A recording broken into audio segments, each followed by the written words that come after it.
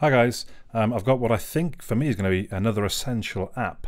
Um, all, every, all the music that I play goes through something Bluetooth, be it a headset at the gym, be it in my car, be it on the motorbike. And it's really annoying that when I connect to a Bluetooth device, for some reason, it um, drops the volume down to kind of, I don't know, two thirds of volume. I don't know why, I don't know if it's like an EU thing, but it's really quite annoying that each time I have to then put the volume up. So I thought to myself, well, I wonder if there's an app out there that does it for me. Sure enough, there is. It's simply called Bluetooth Volume.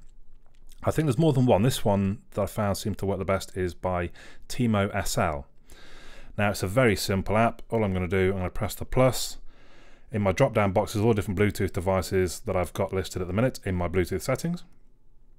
These are these headphones. So I'm going to I'm going to say let's go to 90% and add. And there it is. Now, let me show you first of all, my volume's at, what's that going to be like, 30% perhaps. Turn on the headset.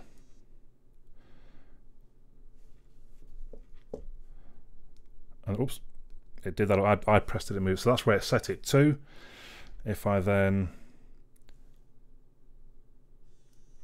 turn off the headset, I won't press the volume this time. Let's see if we see it doing it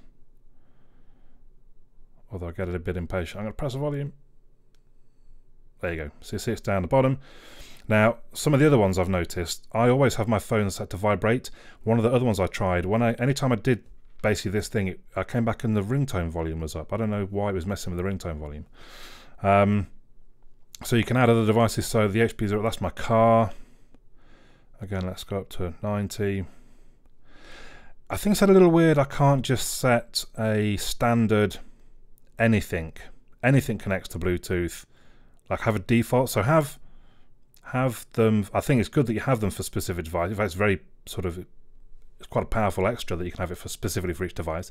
But then give me a default. So if it doesn't fit any of those, give me a default one that just sets it to a certain volume. Um, and that's not there. There's there's not much in the settings.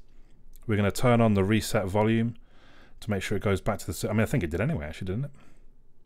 Oh, we've got so that shows the volume indicator. We don't particularly need that, but I'm going to I'm going to just give one more demo so you can see it happening without me pressing volume keys. The headset's turned on, and we should see. There we go.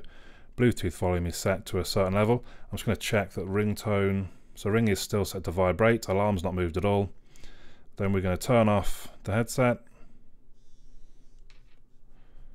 And there we go. We see the volumes come down and still ring is on vibrate.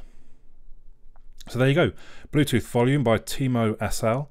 It's free in the Android, uh, in the Google Play Store. Let me know your thoughts in the comments down below. My name's Andy. I'll catch you all again soon.